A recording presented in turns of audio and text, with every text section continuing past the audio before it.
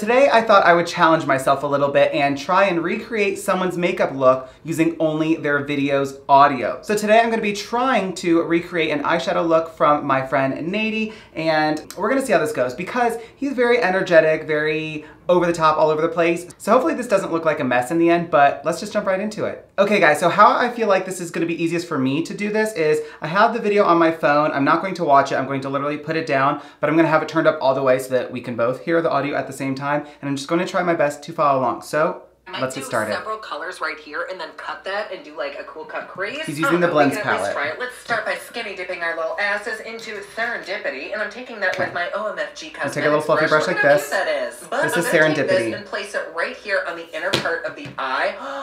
oh my god, that is pigment. Okay, so he's gonna take serendipity, he says, and place it on the inner corner of his eye. I don't know which eye he's doing, so I'm gonna do my right eye.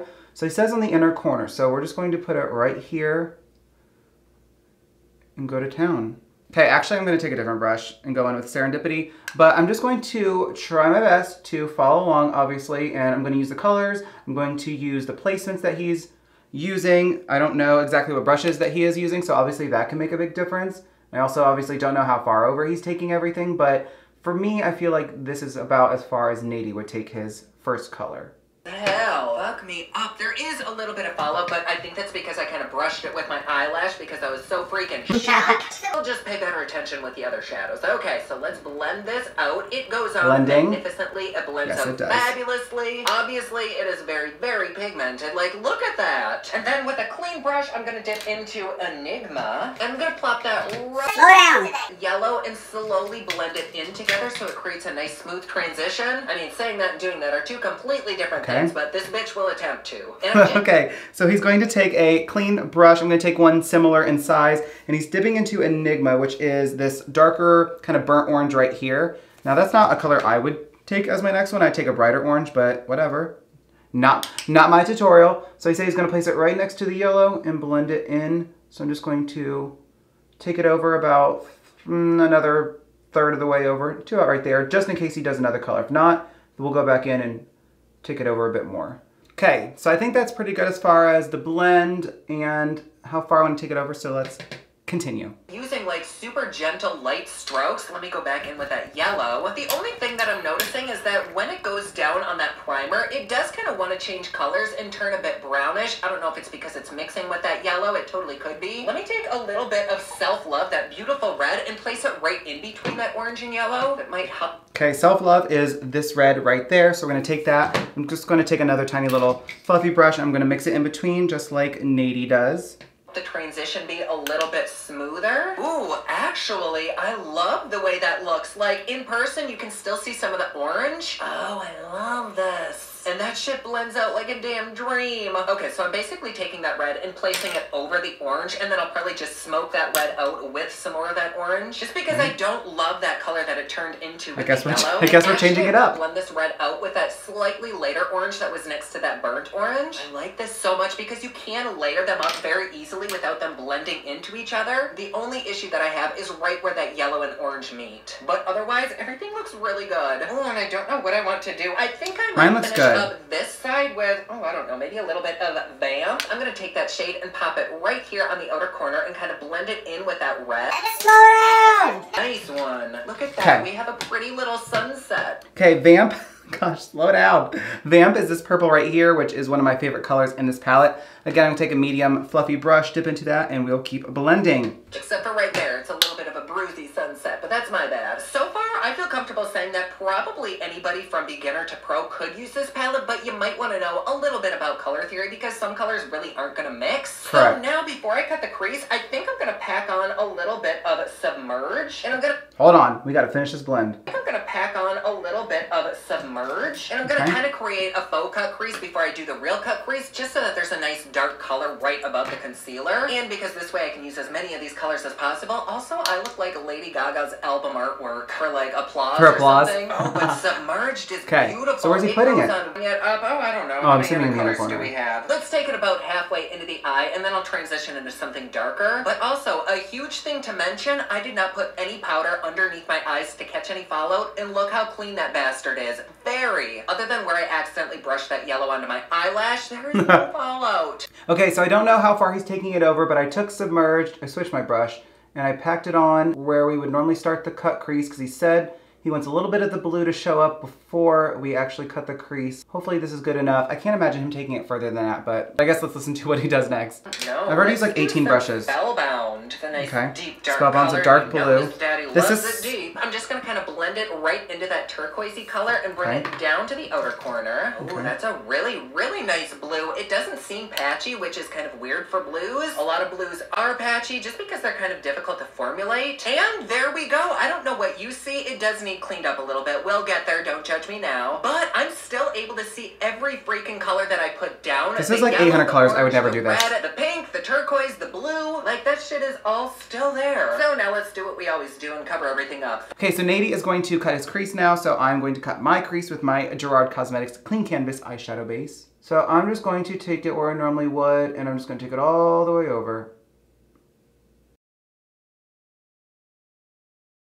But I also want to test Okay. more of these colors. So I agree. let's It looks dip better. into cream and sugar. And I'm going to place that right here on the inner part of the eye to really highlight it. Or at least attempt to. This one does seem a little bit pilly. It's definitely not quite as good as the other shadows were. But I think if I build it up and really pack it on, we'll be fine. Oh yeah, she just needs a few layers and then she's banging. I don't know if you can even tell where I put it because everything is pretty light, but I placed it right about there. Okay, so you can see where I put the white. It's not like crazy or anything, but it just brightens a little bit. Next, Okay, I'm what's gonna next? go into Wildflower, and we'll start bringing that right up the crease line. I am kind of expecting this one to change colors because it is going directly onto something slightly moist. I mean, it's dry for the most part, but unless a matte goes onto something that's like dry as a boner. Wait, no, dry as a bone. Anyways, I'm curious to see if this will at all change, which it's not really changing too much. It's laying down pretty nicely, but it is kind of wanting to turn a little bit green because Yep, that base that I put down Okay, next. I'm gonna go over that with a bit of remedy. That blends in with that yellow so pretty. And then right on the outer corner, So Remedy. finish up with a bit more of that deep blue spellbound. Spellbound. Beans, Okay. man. Then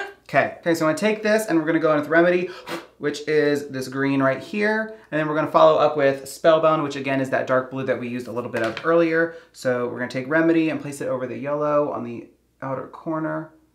Ooh, I love this color. All the way to the top and just kind of blend it into that yellowish green, the wildflower color. I don't know, I'm just not a fan personally of using this many colors. Like I understand it's a palette review and typically you want to use a bunch of colors, but I just still feel like, I don't know, I'm just not a fan of this many colors. I feel like it starts getting really, really messy because you're trying to use 8,000 colors and it just doesn't look good, in my opinion. But also, maybe if I could actually see the technique being used and the placements, it might look better. I guess that's kind of what the challenge of this video is. Okay, so I have the yellow and the green on there. The outer edge is blended out a bit more than I would want, but whatever. So now we're gonna switch that around, dip into Spellbound, is that darker blue, and tap that on the outer corner. Take it all the way up and blend it in with that green. Okay, I think that lid is kind of pretty. The lid's kind of pretty. It's because, I don't know, it's a little bit patchy for me just because the base was super wet. I'm gonna do what Mr. Nadi says to do. And for the lower lash, I want to dip back into Submerged, that gorgeous teal. And I'm to start by packing it right up close to the lashes. And then right below that, I'm to blend it out with some, ooh, I don't know. Do we want Bubble Bath or Dream? Eeny, meeny, miny, ho. Ah, let's do this one. oh, fuck, that is nice. How am I supposed to know what it is? The name blend for this palette is perfect because this shit really does blend. And fuck, let's also take a little bit of Bubble Bath. And I'm going to jet Okay, so I guess we're gonna take Submerged and then Bubble Bath. Okay, I'm gonna wipe that brush off and then we're gonna dip into Bubble Bath and he blends it out underneath that. Which I like this color combination. Hello, this eyeshadow palette threw up on my eye. This Or side alone, I'll finish up with liner and lashes and all that jizzy jazz later, and let's move on to this side. Okay. This side, okay, so he said he threw on a ColourPop cream gel liner, which I have right here. I don't know what color, so I'm just gonna go with blue because I feel like that's what he would do. So I'm just gonna take this lighter blue and just run it along my waterline. Okay, so Nadi said he's going to do liner, lashes, and all that jazz later, so we're moving on to the other eye. To, I don't know. 'Kay. Let's dip into First Kiss right here. And I'm gonna place that right in the crease line and blend it back and forth. Oh my god, that blends out and goes on so nicely. Let's create a nice little glam smoky eye. So let's dip into Self-Love and a little bit below that shade that I just put. Okay, so we're gonna blend this in a little creasy crease. So I'm just gonna take it all the way around. Hopefully this eye is faster and seven shades less than the other eye. I do like video concepts like this because it makes you do things you normally wouldn't do. I'm just excited to see what the end result is in general and see how closely it matches what his looks are. So we're gonna take this, keep it nice and pigmented yet blended. So let me just blend, blend, blend, blend, blend. Let's create a nice little glam smoky eye. So let's Shall dip we? into Self-Love and a That's the little bit below that shade that I just put down. Let's blend that out. These shadows really do blend as nicely as everyone says. Like I've used this palette a million times. It's fantastic. Like the name is so fitting, but like you can just see, look how nice that is. It's very soft, very nice. And you can tell that the blending almost like does its job without you having to do it. Like it does it on its own. Okay, that blend is stunning. It's a great start to this side. Keep it going. Shadows do all the fucking work for you. You just place it there, go back and forth, and it's blended out instantly. Oh god, that's nice. And I Next. know I did put on that brownish tan shade, but I think I want to blend this red out with some of Sunset. So I'll just take that right around the edges of that red. Oh my god, that goes. Okay, so Sunset is this pink shade right here. So I'm just gonna take that first fluffy brush, just dip into it, because why not? And just blend it out a little bit more. Man, these shadows, they really, really do. They blend like a dream. I'm just obsessed. Like, it's hard for me to choose other eyeshadow palettes when I know this one's sitting right in front of me all the time. Because, like, this palette is unmatched. Look at that blend.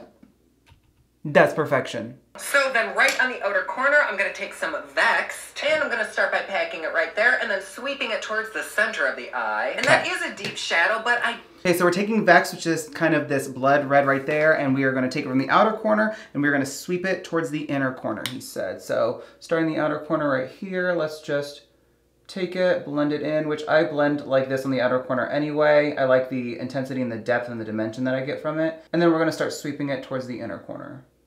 Now that is stunning. Like, do you see how quickly that just takes it up a notch? It adds another color. It adds that depth and that dimension that we all love. That's stunning. Like, I would throw a shimmer on this typically and just call it a day. I do kind of wish it were the slightest bit deeper just so that there was more of a dramatic effect. But Not still, me. the three of those shadows together look great. I do want it slightly darker though, and I'm really curious about depth. It didn't swatch the best, so I want to see how it works on the eye. Oh fuck, that performs so much better than how it swatched. That is a great So I'm assuming he And just that, my little sex kittens, puts it in? is exactly why swatches really don't mean jack shit. Okay, I think I did like this look better before the brown, but I was really curious about it, so we just had to use it. Oh, we But have to still, use This it. turned out a very easy, simple, quick I'll look, just be light-handed. Okay, so he doesn't love the brown, but like we have to do the brown. So I'm just gonna be very light-handed about it. That way I'm still applying it, but like not crazy. But I get his point though. He wanted something to deepen it up, and this definitely does deepen it up. But I'm gonna take that red that we just used just to make sure everything is nice and blended, of course. We gotta keep the blend, duh. Okay, Nadi, I'm sorry, I know we're BFFs, but like I have to disagree with you. Like, I think that brown is stunning, and I think it really did exactly what you kind of wanted. Like, I don't know what it looks on you yet, but like, this is stunning. Like, this is stunning. Like, I've not done a color combo like this, just the way you do the browns and the reds. So like, thank you for teaching me something new. Then for the lower Okay. lash, I'm going to Lower take lash? that deep What about the lid? next and place it right in oh between the gosh. lashes, which I'm then going to blend out with that beautiful pop in red right next to it, Okay, self-love. And then Okay, so he's gonna, I don't know if he's coming back to the lid or not, or maybe that's just what we're doing, but like, I guess we'll find out. So he's going to do a Vexed on the lower lash line, followed by Self-Love. So let's do that. Where's my mirror? I always lose everything because I'm a professional. So let's take this on our lower lash line. Okay, now we're blending it out with Self-Love. Hello, Gorge. Look, look how completely different these looks are. It's crazy. I'm just really hoping that lashes just like bring it all together. Like I'm not a fan of this. It's just so much color all at once. And I love color, but this is like color. Then on the waterline, Okay. I mix ColourPop's Joyride and Good Reef. And on the inner part of the eye, I'm going to place a little bit of Pop Luxe Sex Life. Which, Okay. thank you all so much for your page. Okay, so for the ColourPop Cream Gel Liner on the waterline, I don't have either of those shades, but I believe that it is a burgundy and like a, a nude, so I think we're just gonna go with the nude. And then for the lid, he's using one of his own products, and I think it's like a rose gold, so I'm gonna try and find something similar to that. Okay, so I'm taking Honey Dude, and I'm just going to put this on my waterline. Okay, and then for the lid, I'm going to take this color right here from my Makeup Geek Color Matrix palette because I feel like that's pretty similar to what he's talking about. I hope. I guess we'll find out. I'm gonna be, I'm gonna be pretty proud if this is like pretty similar. So I'm just gonna take a flat brush like this and just pack it on. He said the inner part, so like right here. Ooh, so pretty. Ah, such a beautiful color.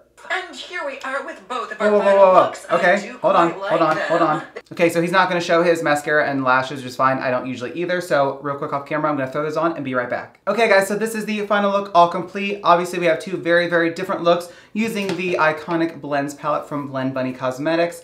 So this video is actually pretty fun for me, but like stressful at the same time. So I'm excited to see if I actually got pretty close to what Nadi created, so let's see. And Okay, so on now for maybe two or three hours, and this shit That's similar. fabulously. So, how do I feel about this little bad bunny? Wait, isn't that somebody? God Okay, so looking at the look overall, I think I nailed it for the most part. So he definitely took the blue on the bottom a bit further down. The lid over here, I think is a bit obviously much better than mine. I like the colors on the lid, but the way he has them blended is a lot better and makes more sense. Again, I couldn't see what brushes he was using or where exactly he was laying everything out, but I think it's pretty similar. All the colors are there. You definitely see a lot more orange at the top of his look than mine. Um, on the red side, I think it's pretty spot on. The shimmer on my side is definitely much more noticeable and just more solid, whereas his looks a bit more blended into his reds. This is just how I prefer to do them at least. Again, the red on his lower lash line is taken down a bit further than mine, but overall, I think it's pretty dang similar. I'm actually pretty proud of this. But yeah, this video is actually a lot of fun to do. I think it was a success overall. I would like to know what you think. But yeah, thank you so much, Nadi, for letting me borrow one of your videos for my video. I really appreciate you, your friendship, and how amazing you are. So again, everybody, please make sure you go follow Nadi. I will have all of his YouTube channel information and social media links all in my description box. So go give him a subscribe, go give him a follow, binge his content. You'll be happy you did. But that's all I have for you guys today. Please make sure you give a big thumbs up down below. Click that big red subscribe button so you can join my YouTube family. Turn on my video post notifications by clicking that bell icon and switching it to all. And I thank you guys so much for watching today's video and I hope you have the day you deserve.